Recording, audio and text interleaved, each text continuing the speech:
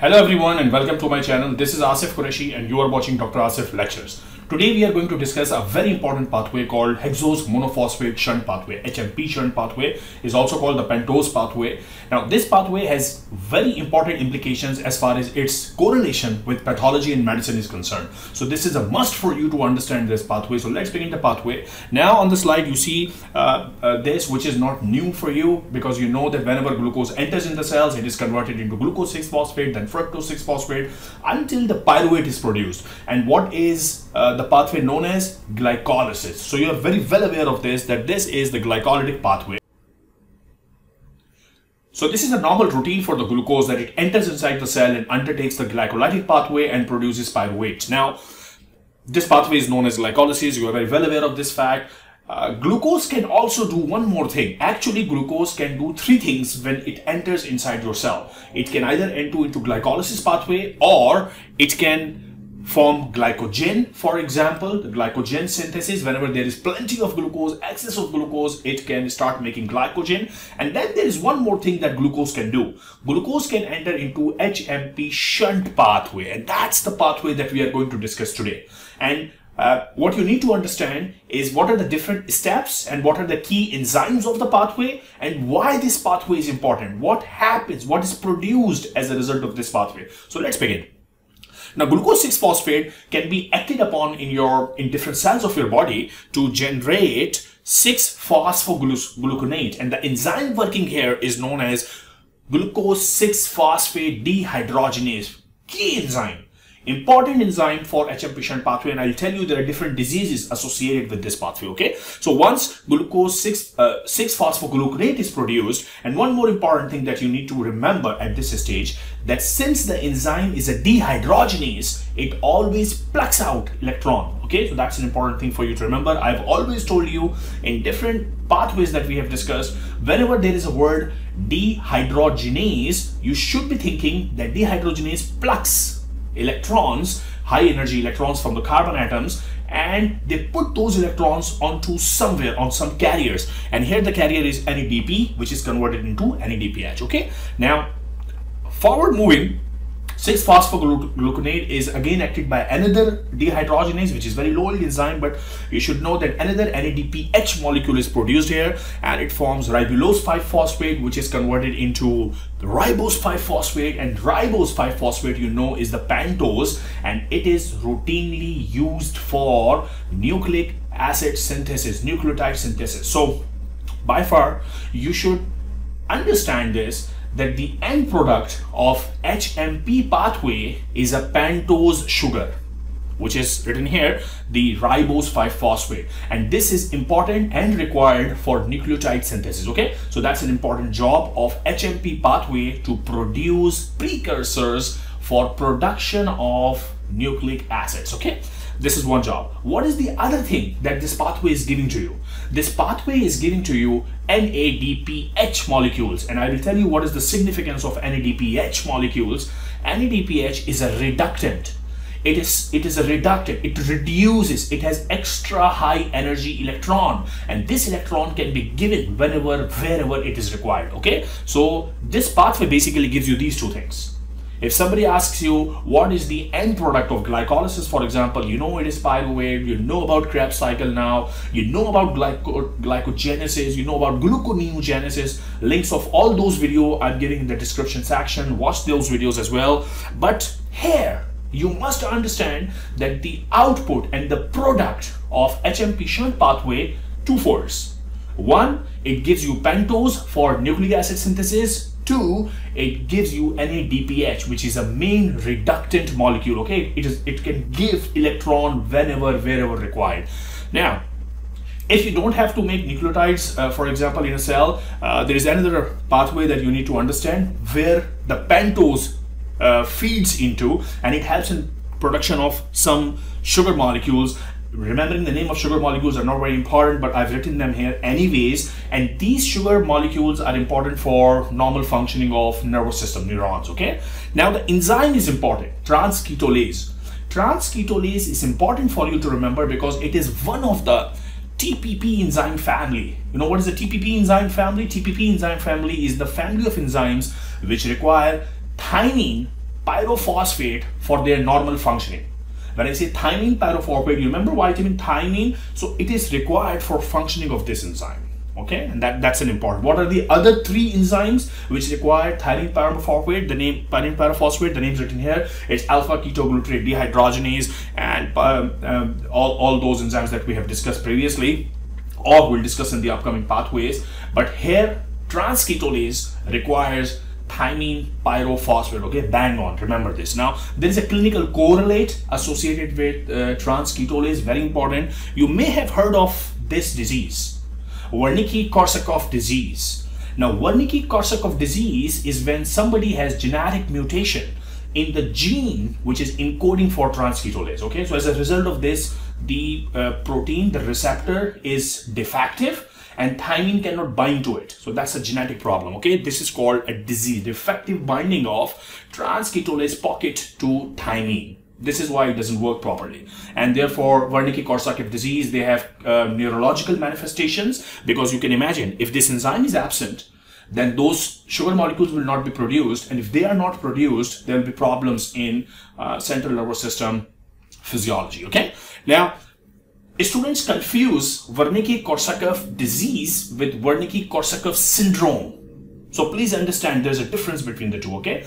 Disease is the genetic mutation and as a result of the mutation, when the clinical manifestation of neurological problems appear, that is what we they call uh, syndrome, Wernicke-Korsakoff syndrome. Now, Wernicke-Korsakoff syndrome is due to Wernicke-Korsakoff disease. Okay, disease is the mutation, and the clinical manifestation is the syndrome. So, uh, people have given uh, a lot of thiamine to these patients so that there is more thiamine present, and the symptoms they alleviate. So symptoms may be you know they they sometimes subside if you give a lot of thiamine to these patients so what do you think will be uh, treated if you give thiamine? Syndrome will be treated or disease will be treated? Very good. Syndrome. So syndrome will be treated not the disease. Why? Because disease is the mutation. By giving thiamine you are not correcting the mutation but just by increasing amount of thiamine what you are doing is the symptoms are going away. And when symptoms go away this is what we call uh, Wernicke-Korsakoff syndrome has gone better. Okay, let's move on. Now, thiamine deficiency is a different scenario. Many people, number one, they confuse Wernicke-Korsakoff disease with Wernicke-Korsakoff syndrome. Now, I have told you what is this. If you don't understand, rewind the video, watch that again. Now, there's a lot of students also confuse the Wernicke-Korsakoff disease and syndrome with thiamine deficiency, which is called beriberi. Now, if thiamine is deficient, all four of these enzymes will not work. Therefore, you will have uh, neurological manifestations. You will also have manifestations associated with decreased ATP production because glycolysis will not be working. As you can see, alpha keto uh, pyruvate dehydrogenase is there, alpha keto glutarate dehydrogenase. So Krebs cycle is not working, glycolysis is not working. Thiamine deficiency is a different ball game where all the enzymes requiring thiamine pyrophosphate will not be working. However, transketolase, if problematic, if there is genetic mutation in transketolase, it will affect only one enzyme, uh, which is transketolase. Okay, so you will not have problems associated with uh, energy production. You will not have problems associated with other uh, enzymes which require thiamine pyrophosphate. So remember how to differentiate between Wernicke-Korsakoff disease and Wernicke-Korsakoff syndrome and what is beriberi. Okay, beriberi, there is thiamine deficiency. Now, this also happens in alcoholics. So remember, alcoholics have thiamine deficiency. So they will have all signs and symptoms of beriberi if it is long term. Okay, let's move on. Now, one important thing that you need to understand about HMP shunt pathway is that what happens um, with, with the products and the cycles of HMP shunt pathway, at least at three locations. What happens in liver, what happens in neutrophils, polymorphonuclear neutrophils, and what happens in red blood cells. Okay, so here I have drawn the uh, HMP pathway which we just discussed. It begins with glucose, glucose enters the cell, glucose 6-phosphate, then there is a very important enzyme which acts and the pathway proceeds down to formation of pentose sugar which is ribose basically, okay, ribose 5-phosphate. And what were the products I told you of HMP pathway? Twofold. One, it produces ribose, and two, it produces NADPH. And in liver, NADPH is utilized for formation of fatty acids, for formation of nucleotides, obviously you know that, and for formation of cholesterol. So liver utilizes HMP shunt pathway for synthesis of biomolecules. Okay, so you must understand what is the job of HMP pathway in liver. Now let's move on and see what is the job of HMP pathway in polymorphonuclear neutrophils. Let's have a look. Now, the polymorphonuclear neutrophils, see the pathway is the same. Glucose enters, converts into glucose 6-phosphates, acted upon by glucose 6-phosphate dehydrogenase G6PD, and at the end you produce nucleotide, uh, well obviously you will do that because of ribose. So you produce a pentose sugar which is ribose and you produce a lot of NADPH.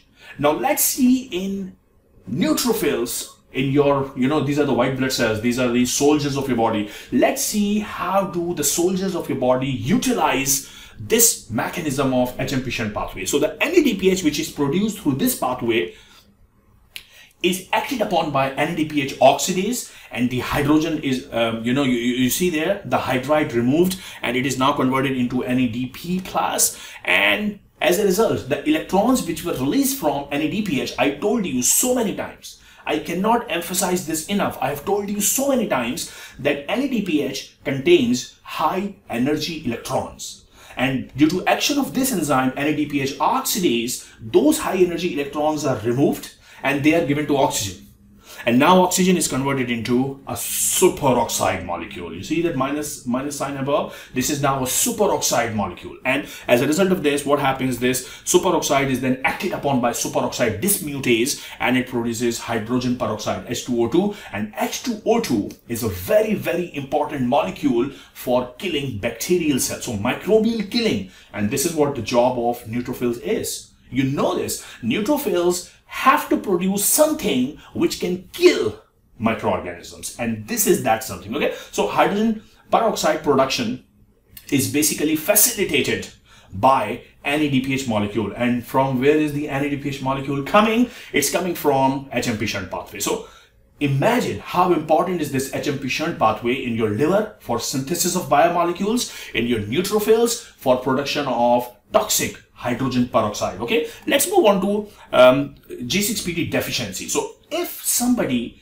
is deficient in glucose 6-phosphate dehydrogenase, what will happen? You can appreciate that if G6PD is not there, what will happen? If G6PD is not there, there will be less NADPH produced, HMP shunt pathway will be affected, there will be less superoxide and there will be less hydrogen peroxide, which means patient will be what? Immunodeficient. Patient will be immunodeficient. Okay? So that's a simple concept to understand. There will be immunodeficiency. Now there are two other features of g6pd deficiency which are actually manifested in the red blood cells. Okay? We will discuss them in the next slide but let's have a look what are these. These are called heinz body formation and hemolytic anemias. Now this triad of symptoms for G6PD deficiency is important to understand and learn because immunodeficiency can also be seen in chronic granulomatous disease.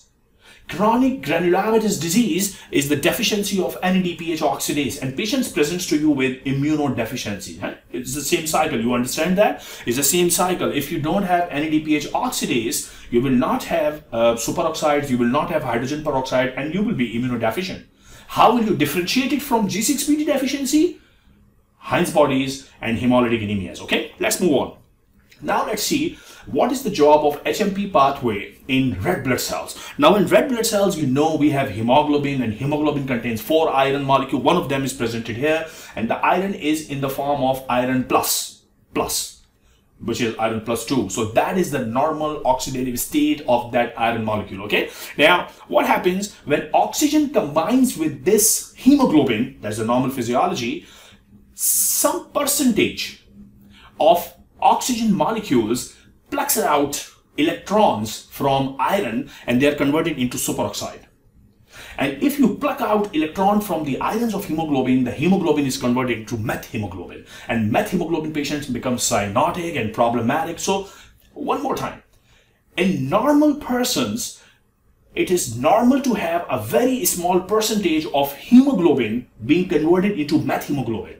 And how does that happen? Oxygen plucks out electrons from iron and the state of iron from iron plus 2 is converted into iron plus 3. And the electron which is plugged out, the oxygen molecule is now converted into a superoxide. Okay. And now what happens to the superoxide? Now before uh, what happens to the superoxide, remember the methemoglobin is converted back to hemoglobin by donation of electron. How was methemoglobin produced? Because oxygen plucked out the electron from iron. So who donates uh, uh, electron back? Electron is donated back by NADH, the product of glycolysis, Krebs cycle. I hope you remember that, okay? Now, what happens to superoxide? Superoxide molecules are converted, as previously discussed, into hydrogen peroxide by superoxide dismutase, which is then converted into water molecule. But in order to convert hydrogen peroxide, which is toxic, to water molecule, which is non-toxic, electrons are needed. And those electrons are given by reduced glutathione. GSH is the glutathione, okay? Reduced glutathione, sulfhydryl groups on glutathione gives their electron and the toxic hydrogen peroxide is converted into water molecule. Now, once reduced glutathione gives its electrons, what happens to reduced glutathione? It is converted into oxidized glutathione. Now, in order to replenish the system, Oxidized glutathione requires electrons so that it can again produce reduced glutathione and the cycle continues okay? So basically we need electrons. And now from where are the electrons coming? Do you know a source of electron which is generated in HMP pathway? Yes you know NADPH and this these electrons are then donated back by NADPH by the normal HMP shunt pathway. So here is the summary. HMP shunt pathway is a very important pathway which is one of the three utilization of glucose molecules. Glucose can in your body either enter into glycolysis or it can enter into glycogenesis or it can enter into HMP shunt pathway. Now in HMP shunt pathway, there are two outcomes that you must remember. Outcome number one is production of pentose sugar, which is utilized for nucleic acid formation. Outcome number two is NADPH formation, which is electron carrier. It is ready to give electron. It's a reductant, okay? Now, what are the implications of HMP shunt pathway in liver? In liver, it is utilized in biosynthesis of molecules. What are the important functions of HMP pathway in neutrophils? The NADPH is utilized there in formation of H2O2 so that bacteria may be killed. What is the utilization of HMP shunt pathway in red blood cells? It donates electrons in the form of NADPH to reduce glutathione so that the cycle of hemoglobin methemoglobin system is balanced. See how beautifully your body utilizes HMP shunt pathway to use those electron molecules in different cell types of your body. I hope you liked the video. If you did, please subscribe the channel, share the video with your friends, and I'll be back to you with another video on metabolism.